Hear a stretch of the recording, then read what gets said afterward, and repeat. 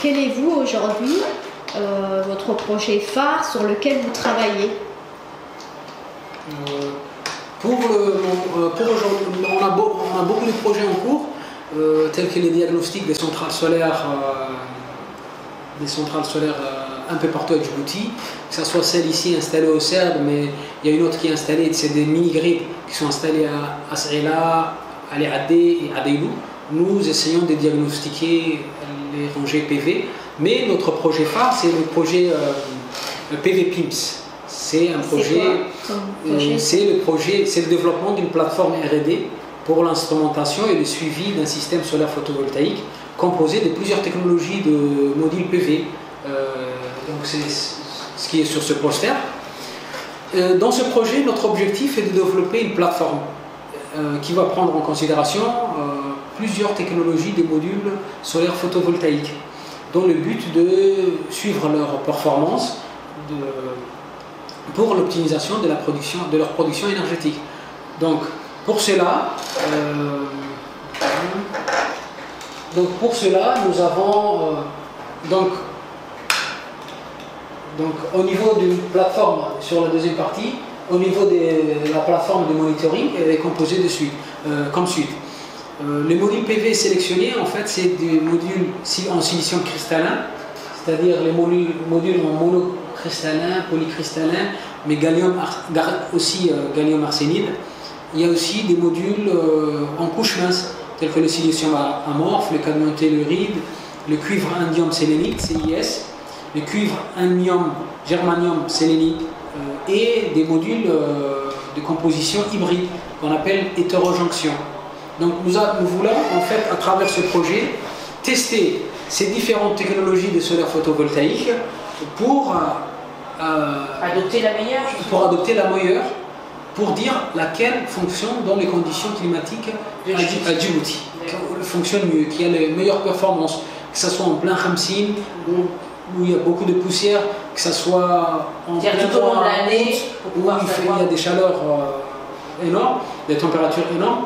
Donc, voilà.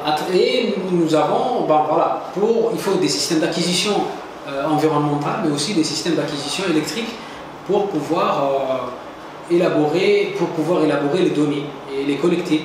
On va collecter en, termes d'énergie électrique, on va euh, collecter l'intensité, la tension, la puissance.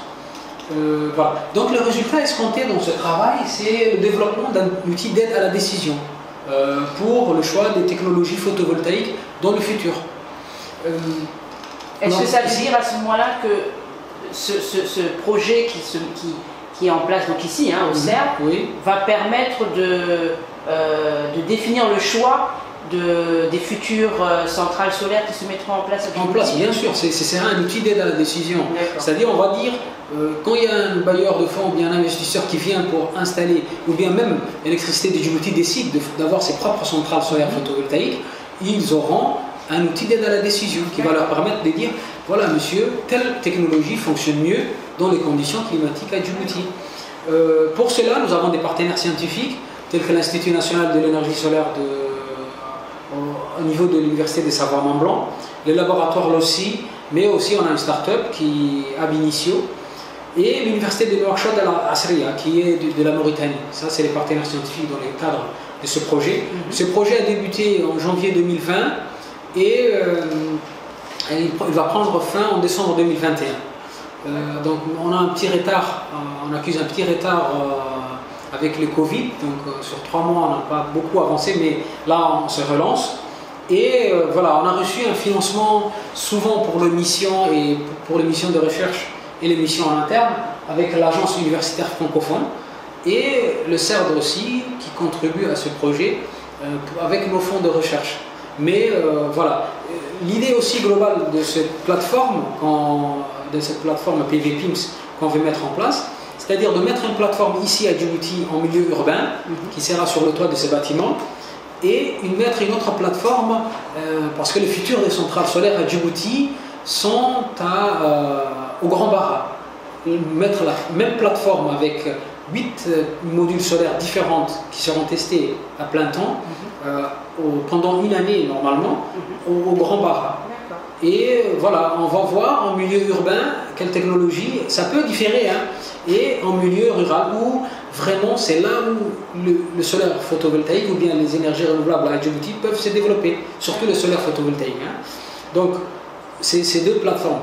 Là, pour le moment, on est limité en termes de financement, mais euh, on espère toujours, on essaye de contacter à gauche à droite pour euh, pouvoir euh, avoir de financement supplémentaire parce que c'est pas la même chose qu'on installe ici et quand on installe au Grand Barra. Donc il faut plus de moyens pour pouvoir avoir ces deux plateformes. C'est la même chose mais en deux. Et ça, ça pourrait, voilà, ça attire énormément les investisseurs. Prenons le cas de,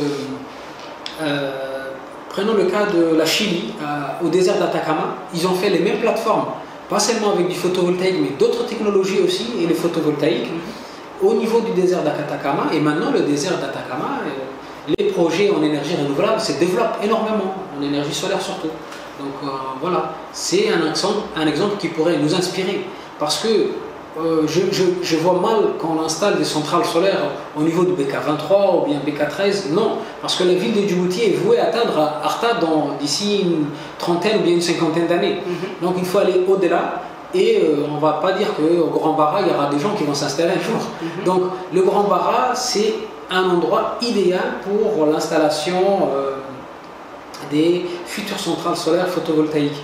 Donc pour cela, nous, on veut faire une recherche une recherche avant-gardiste, c'est-à-dire où on va euh, voilà, dire, voilà, on a les connaissances, on veut appliquer ces connaissances sur le grand barra et le résultat, nous-mêmes, on peut l'exploiter. On n'aura pas besoin d'étrangers ou bien d'autres personnes pour pouvoir, non. Nous-mêmes, on peut faire ce travail et c'est vraiment euh, très important. C'est très important pour le pays mais on, ira au-delà. L'outil d'aide à la décision va aller au-delà que les simples de, comparer des, modules solaires. Mhm. On va aller au-delà, faire des prédictions, des modélisations pour pouvoir voilà, dire le type carrément de centrale solaire photovoltaïque qu'il faut adopter à Djibouti.